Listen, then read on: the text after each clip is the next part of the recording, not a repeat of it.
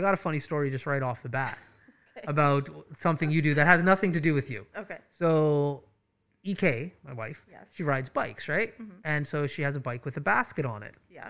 And so I was just like, okay, cool. So for Christmas, I was like, you know what? I'm gonna buy her one of these bikes, and it was a tricycle with like a bike with the basket on the back. Sweet. And I was like, and it was an, it was electric. Ooh. I'm like, oh, she's gonna love this. Major brownie points. Yeah. And so I didn't buy it, but I because I know how my wife accepts gifts. So I got a picture of it. I printed out and I said, hey, we'll go buy this thing. And then she, for Christmas, oh, thanks, Elliot. I appreciate it. It's really nice. And then, like, once like Christmas is over, she's like, yeah, I don't think I want that bike. And I'm like, why not? It's so like functional. It's everything you want. It looks cool.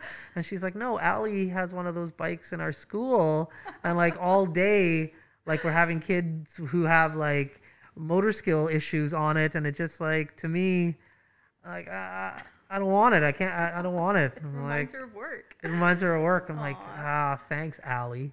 Sorry. you have ruined my Christmas gift. I just, oh, I said this. That's another Mac City Morning Show done. It's so ballistic!